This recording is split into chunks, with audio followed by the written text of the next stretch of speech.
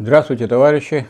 Большое спасибо вам за внимание, потому что мы живем в такое время, когда хочется посоветоваться с товарищами и решить, как действовать, что делать в этой ситуации.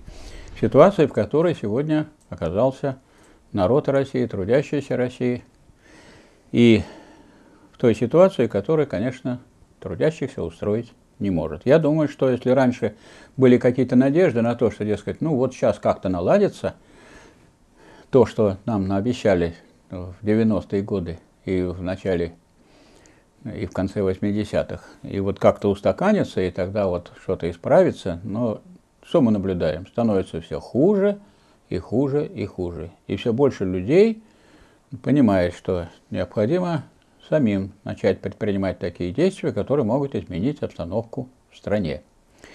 Надо сказать, что и опросы это отражают. А, опросы у нас проводились по поводу того, что вот, а кто за то, чтобы пришел Сталин и навел порядок.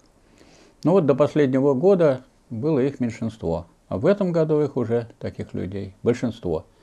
Но эта точка зрения, я не думаю, самая хорошая, потому что все люди хотят, чтобы кто-то навел порядок, а Социализм – это такое общество, которое не сверху создается, а снизу. И порядок надо наводить самим. Поэтому я, во-первых, хочу обратиться ко всем тем, кто протестует против ухудшения жизни народа. Обратиться в связи с тем, что эта позиция, хотя она и правильная, ну, правильно надо протестовать, не соглашаться с ухудшением, но она совершенно пассивная, и она никакому изменению жизни не ведет и вести не может. Меня бьют, а я протестую. У меня все отнимают, а я протестую. Жизнь мою ухудшают, а я протестую. Вот у нас провели сейчас реформу. Кто не знал или не знает, что 80% народа против этой пенсионной реформы, а ее правящий класс провел. Сколько денег отнимут у тех, кто еще только собирается или кому предстоит пойти на пенсию? Ну, раз в 5 лет, 5 лет это по 12 месяцев, это 60 месяцев – Пенсия у нас 14 тысяч средняя. Умножайте 14 на 60 и получите 840 тысяч рублей. У каждого из вас, это не у тех, кто уже пенсию получает, а у тех, кто не получает, у молодых людей. Уже заранее забрали, уже продумали, как будут с ними поступать, когда они будут уже в возрасте 60 лет. И в отличие от нашего брата, который в 60 лет начал получать пенсию, вы получите в 65. То есть с вас заберут 840 тысяч рублей. Куда? Ну, вы же прекрасно понимаете. Решили теперь, дескать, у вас заберут. А что будет с этими деньгами? Мы не знаем. Кто там будет руководить? Мы не знаем. Что мы не видели, не проходили гайдаровские реформы. Не знаем, что как можно забрать все деньги, которые были в Сбербанке. Можно забрать, забрать было фабрики и заводы. Поэтому никакие обещания такого рода, что, дескать, потом мы как-то это наладим, тут не проходит. Поэтому задача состоит сейчас в том, что надо прекратить просто протестовать. И если я протестую, я против. То есть я совершенно не говорю, что я буду делать. То есть я себе самому не задал вопрос, что я буду делать. Поэтому надо уйти от этой пассивной формы сопротивления, которая никогда победы трудящимся народу не даст. Надо наметить, что мы будем делать. В этом плане каждый забастовщик, каждый забастовщик на любом заводе, который делает забастовку, он на голову выше. Почему? Потому что он сначала сформулировал требования, выдвинул их к работодателю. А если работодатель не согласен, тогда он начинает бастовать. Причем Забастовки у нас предусмотрены законом, и Конституцией они предусмотрены. И законом предусмотрены там целая процедура э, разрешения коллективных трудовых споров. Я пользуюсь случаем сообщить вам, что, скажем, на, на канале Фонда Рабочей Академии вот висят мои лекции по двум курсам. Один называется «Социально-трудовые конфликты и технологии их урегулирования», где я там, так сказать, подробнейшим образом – разъясняю, разжевываю, как сделать все по закону, чтобы можно было улучшить свою жизнь на предприятии, по крайней мере. И второе, второй курс – это политическая составляющая социально-трудовых конфликтов, что кажется, что это вы только боретесь за улучшение жизни на своем предприятии, но проблемы у нас одинаковые. У всех зарплаты падают, у всех удлиняется рабочий день, у всех ухудшаются условия труда, у всех отобрали пенсию и так далее. Поэтому а некоторые думают, что соберется какой-нибудь единый забастовочный комитет, и он решит, и будет всеобщая забастовка. Такого никогда не было, не бывает и быть не может, потому что забастовки идут по предприятиям.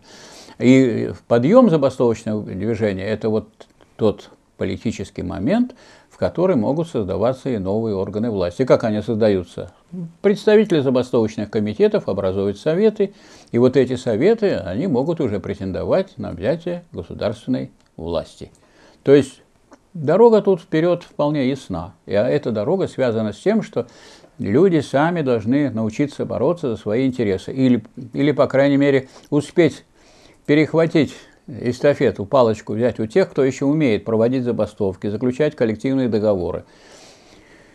Я бы что хотел сказать в связи с этим, хотя это кажется уж очень неполитично, что я сейчас буду говорить, я буду говорить о коллективных договорах, потому что одно дело забастовочные требования, повысьте мне зарплату, вам повысят на копейку. Если человек не продумал просто повышение зарплаты, да, сократите мне рабочее время на одну минуту. У нас написано в Трудовом кодексе повышение уровня реального содержания заработной платы. В двух статьях, 130 и 134. Государство гарантирует повышение реального содержания уровня заработной платы. А 134 – обеспечение повышения уровня реального содержания зарплаты. Норм никаких нету, количеств никаких нету. Все количества, дескать, Заключайте коллективные договора.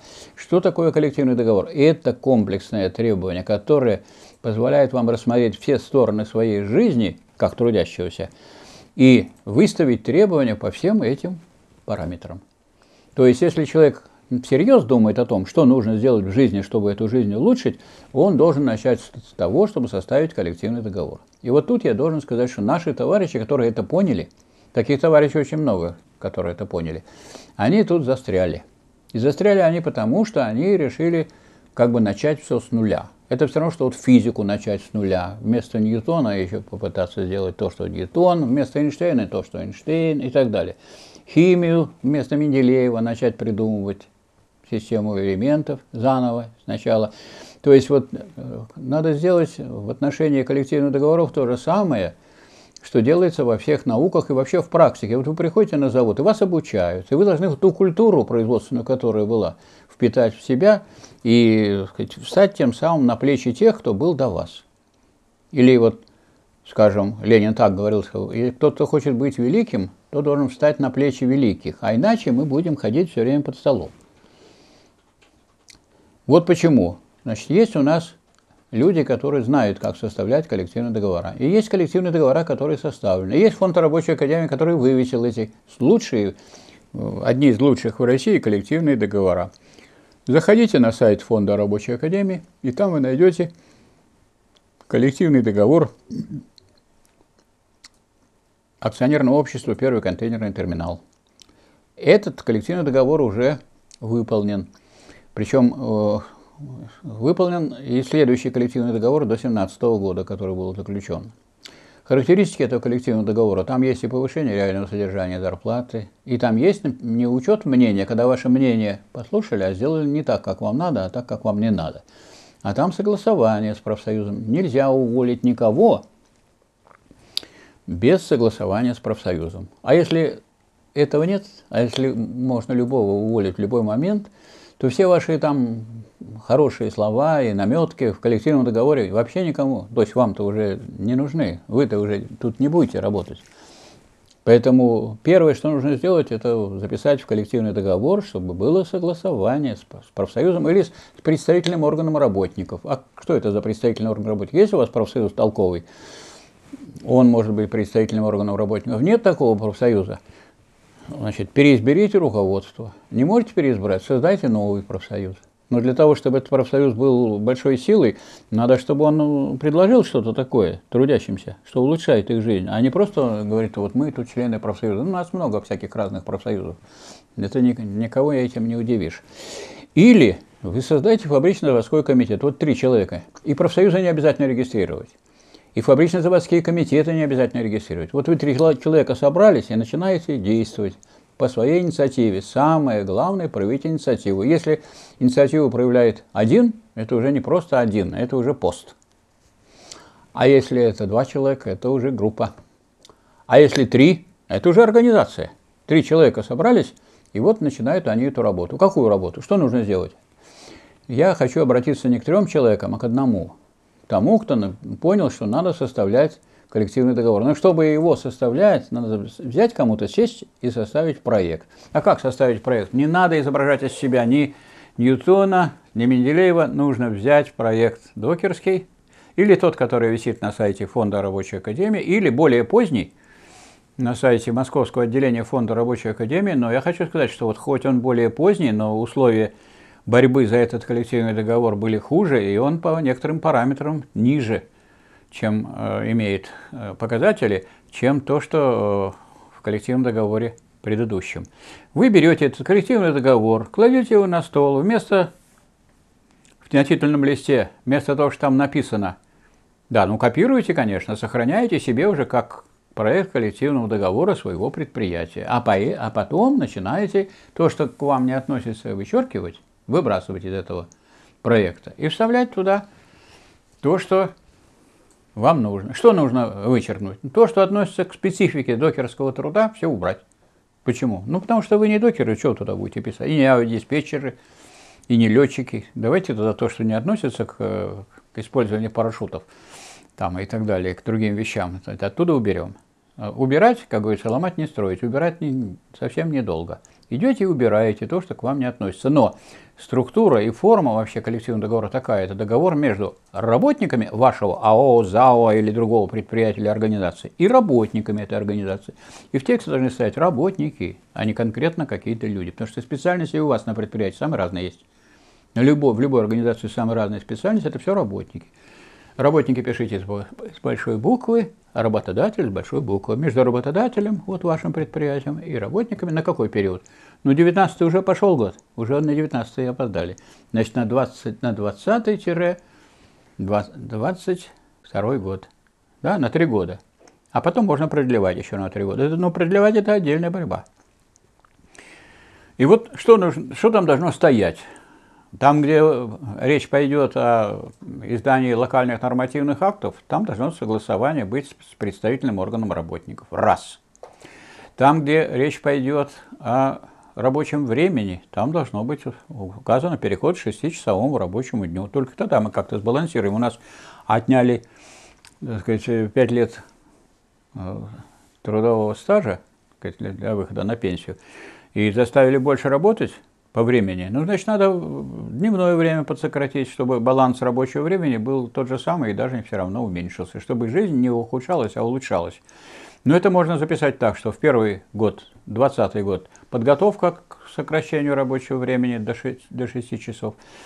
21 год, переход к 7-часовому рабочему дню и 22 год, переход к 6-часовому рабочему дню. Теперь нужно указать конкретную цифру повышения уровня реального содержания заработной платы. Как это сделать? Если вы просто напишете повышать зарплату, у вас зарплата будет повышена, а, как вы знаете, наш дорогой Центробанк борется за то, чтобы была все время инфляция. Он раньше планировал 4%, сейчас запланировал 5,5%. Поэтому, если вы думаете, вы просто напишите повышение, у вас повышение будет, допустим, на 3%, а инфляция будет на 5,5%, и у вас будет снижение уровня реального содержания зарплаты. Жизнь будет хуже, хуже, хуже. Поэтому что нужно сделать? Повышение номинальной заработной платы на индекс инфляции плюс 6%. Почему 6? Потому что вам же еще переговоры вести. Может, переговоры приведут к тому, что не на 6 будет, а на 4, или на 5, или на 3, или на 2. Но должно быть во всяком случае больше, чем инфляция. Это раз. Во-вторых, мы должны опираться на некий опыт, который есть. Опыт у нас, например, есть такой, что дальневосточные докеры записали себе в коллективном договоре следующую норму повышения номинальной зарплаты ежегодные в первом квартале на индекс инфляции плюс 5%. Есть такое? Уже сделали. Ну, а если вы не просили, не требовали, не добивались, не боролись, так никто вам же не будет. Почему? Потому что те, кто являются бедными, они, естественно, хотят быть богаче. А вот те, которые являются богатыми, они не просто не собираются помогать бедным, а хотят стать еще богаче, чтобы отнять у вас еще что-нибудь и стать еще богаче. Поэтому вы не надейтесь, что кто-то улучшит вашу жизнь. Никто вашу жизнь не улучшит. Освобождение рабочего класса и дело рук рабочего класса.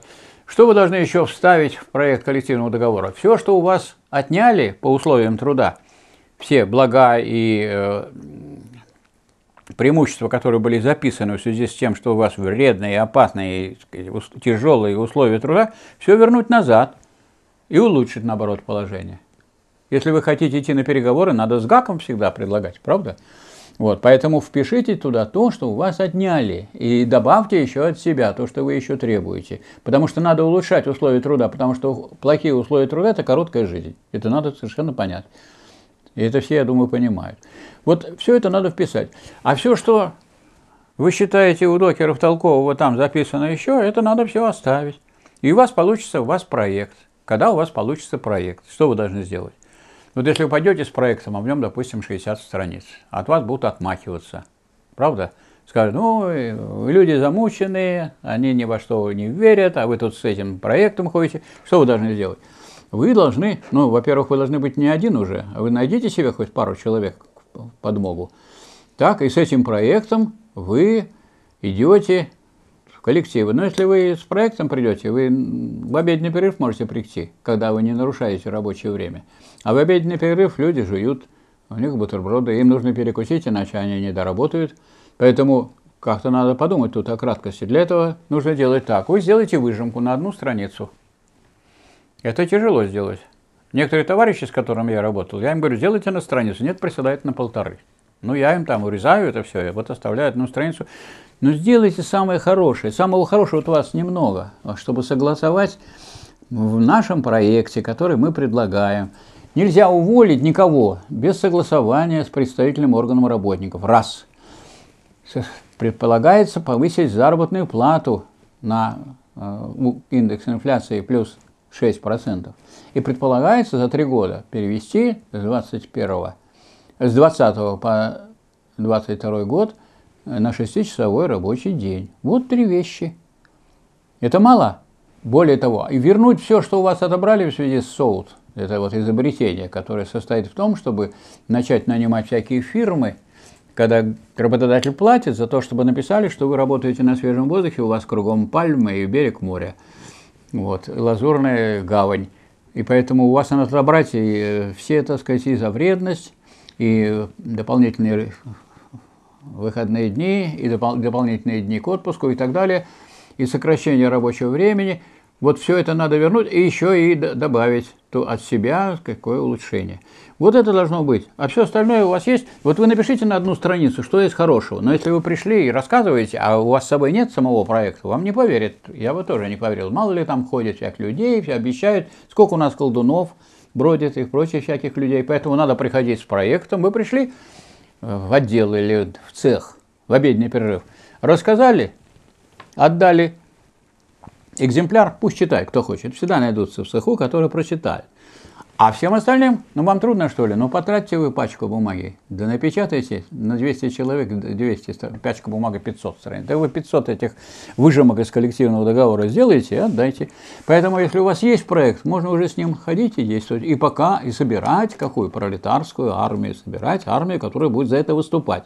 Никогда армии не идут ни в какой бой, пока они не наберут сил. Не надо никаким администрациям ходить, не надо ничего требовать, не надо ничего заявлять, если вы если мы видим, что люди, им не платят зарплату, они продолжают как ни в чем не бывало работать. Ну как вы работаете? Вот кто должен работать, если вам не платят зарплату? Крепостные. Ну если у вас барин, так на барин надо и работать. При чем тут зарплата? Никаких зарплат. Барщина. Ну как вы, вот люди, которые жили при социализме, или помнят, или хоть родители рассказывают, вы что делаете-то? Как вы работаете бесплатно? То есть, хотя есть закон буржуазный, Трудовом кодексе записана 142 статья. Если вам не выплатили зарплату, то через 15 дней, больше чем 15 дней не выплатили, ну вы бумажку подайте, зафиксируйте, что ее получили. Если так не берут, так через почту с заказным письмом, с уведомлением о вручении, что я приостанавливаю, не останавливаю. Как это вы можете остановить? Вы работаете же, правда? Работаете. Приостанавливаю работу до выплаты зарплаты. Ну как вот вы понимаете договор? Мы два человека, мы договорились. Я работаю, вы мне платите зарплату. Вы не платите, я не работаю. Ну правильно. Что тут непонятного? Нет, работать. Что с ними будешь делать? Не знаю, что делать. Ленин говорит, что пулеметы что ли ставить против тех, кто работает без зарплаты. Ну что делать? А потом сами начинают голодать. Да не сидите вы. Что написано? Прочитайте вы 142 статью. Потратьте 200 рублей на этот самый, на трудовой кодекс. Потратьте 200 рублей, а получите много-много. Тысяч. Там написано все, что вы можете не находиться на рабочем месте, но я бы рекомендовал находиться. Сидите на рабочем месте, читайте «Капитал Маркса», читайте «Трудовой кодекс». Вам некогда было его читать, как раз и почитайте. Вам должны принести бумажку, согласно 142 статье, в которой будет написано, уважаемый Иван Иванович, выходите завтра на работу, вам завтра будет выплачена зарплата.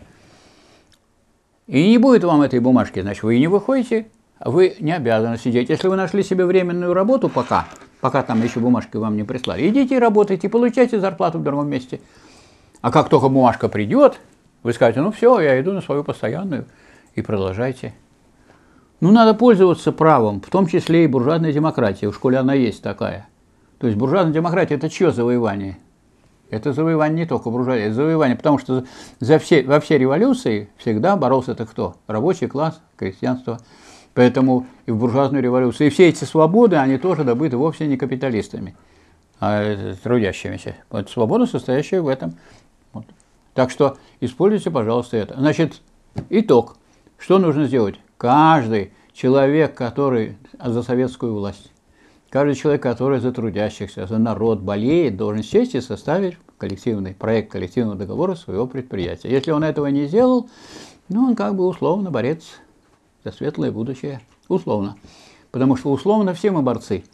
А сейчас наступило такое время, когда надо быть не условным борцом, а борцом на деле. Вот сейчас есть во всяком во всякий момент появляется ключевое звено, за которое надо взяться, чтобы вытащить всю цепь. Вот ключевым звеном люди, которые хотят построить плановую экономику, если они не умеют составить коллективный договор, никогда не смогут наладить плановое хозяйство. И наоборот, люди, которые составляли коллективные договора и боролись за них, в том числе забастовки организовывали, позитивные, а не глупые, так сказать, протесты. И меня бьют, а я протестую. У меня все отнимают, а я протестую. Ну, жалко меня.